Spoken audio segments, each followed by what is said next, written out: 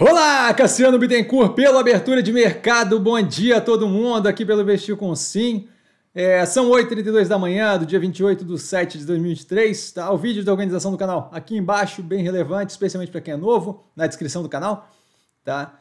Eu começo com um disclaimer que eu falo aqui nada mais é do que a minha opinião sobre investimento, a forma como eu invisto não é de qualquer forma, modo em geral, indicação de compra ou venda de qualquer ativo do mercado financeiro. Isso dito, Fechamento de ontem negativo para a maioria dos ativos do portfólio, volume ok, não vejo qualquer sentido na queda, tá? Há espaço aí que abre para alocação em ativos descontados. Acontecimentos, a gente teve a Vale vendendo 13% da operação de metais básicos, dando aí, recebendo um valor aí de 3,4 bi para a Manara Minerals, que é uma joint venture com participação aí da, do fundo é, soberano da Arábia Saudita e uma outra operação americana.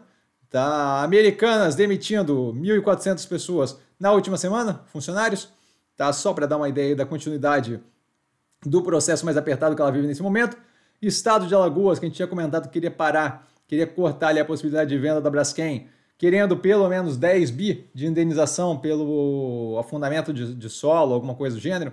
Tá? De qualquer forma, o valor setado nesse momento estava próximo de, se não me engano, 1,8 bi, então bem diferente. Tá? O PIB dos Estados Unidos vindo ontem acima do esperado, 2,4% é, no segundo trimestre. Se não me engano, o esperado era 1,8%, então bem acima do esperado, um PIB bem positivo, tá? crescimento bem positivo. O IPP, índice preço ao produtor, no Brasil com queda de 2,72% em junho, tá? reforçando o arrefecimento da inflação, contratando justamente uma redução nos preços ali no futuro, uma vez que é o início da cadeia produtiva, tá? Isso daí já veio de uma outra queda forte no índice de pressão produtor no mês anterior, de, de maio. Tá? A separação do êxito e o pão de açúcar deve ser concluída em agosto, pelo que diz a gestão.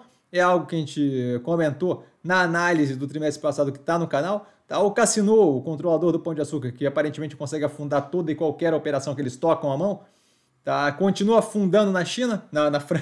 na China, na França. As ações tiveram negociação suspensa ontem tá? depois de divulgação do resultado, e hoje estão afundando 7%. Isso em cima de toda a raquetada que eles já tomaram.